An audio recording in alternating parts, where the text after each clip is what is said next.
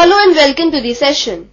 In this session, we will learn about algebra, which is a very important branch of mathematics. The main feature of algebra is the use of letters. Algebra is very interesting and useful. It is very useful in solving the problems. Next, we discuss about the idea of a variable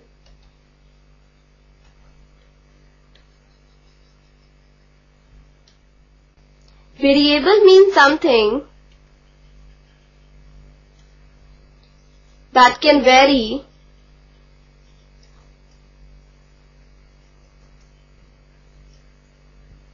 or you can say that can change the value of the variable is not fixed. It can take different values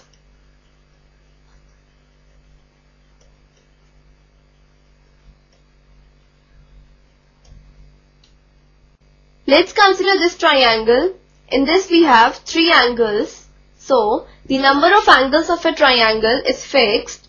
Hence, it is not a variable. But the lengths of the sides of the triangle can take any values. So, it is the variable. Let's consider an expression 2n. In this expression, the numerical value 2 is obviously fixed but this letter n can take any value so it is called the variable in this expression. n can take any value be it 0, 1, 2, 3 and so on.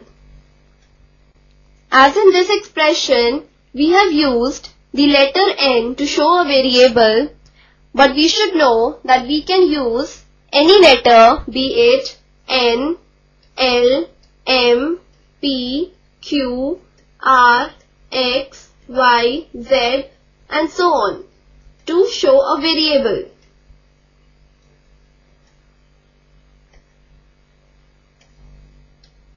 Now we shall discuss about the use of variables in common rules.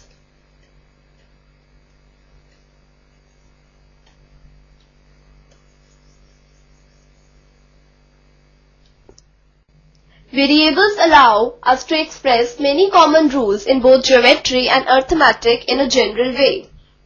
First let's discuss about rules from geometry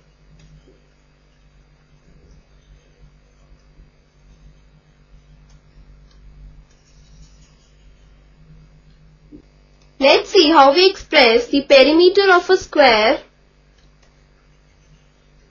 in terms of variables.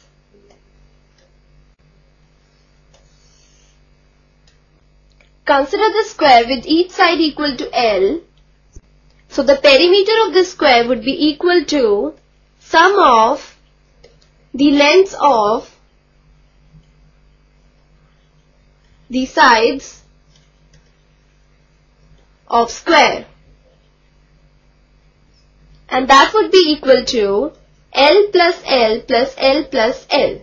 That is, that becomes 4L if we denote the perimeter of the square by the variable p, we get this expression which is used to express the perimeter of the square, where the letters p and l are the variables, where p is the perimeter and l is the length of the side of the square, which can take any values. In this way, we can obtain various formulas and rules for the perimeters and areas of plane figures using the concept of variables. Now we discuss about the rules from arithmetic.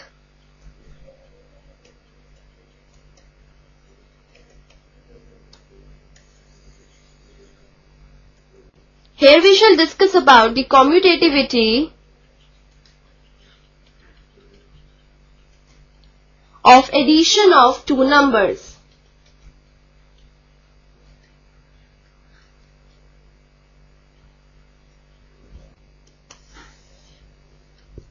Suppose we are given two numbers, their sum in this order would be equal to this.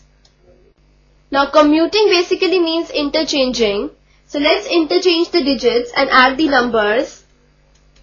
Let's see what is the sum. We see that the sum is same in both the cases. So commuting the order of numbers in addition does not change the sum. With the help of variables, let's express the generality of this property in a concise way. Like if we have two variables, a and b, then according to this property we have a plus b would be equal to b plus a. Where these a and b are the variables and they can take any values. So the different properties of numbers like the distributivity of numbers, commutativity of multiplication of numbers, etc. can be expressed in a more general and concise way using the variables. Now we shall discuss about the expressions with variables.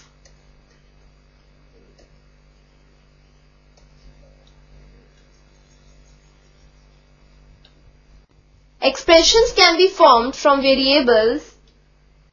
Expressions with variables are obtained by operations of addition, subtraction, multiplication,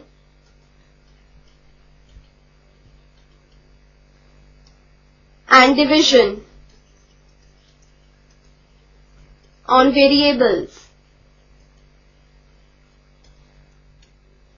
Since we know that variables are basically the numbers but their values are not fixed, it can vary. So that is why we can perform these operations of addition, subtraction, multiplication and division on variables. Let's consider the expression 2n again. In this expression, the letter n is a variable and the number 2 obviously is fixed so this expression is formed by 2 multiplied by the variable n that is we have applied the operation of multiplication on the number 2 and the variable n. So we get the expression 2n. And using different operations we can form various expressions with variables. So this completes our session. Hope you have understood the concept of variables.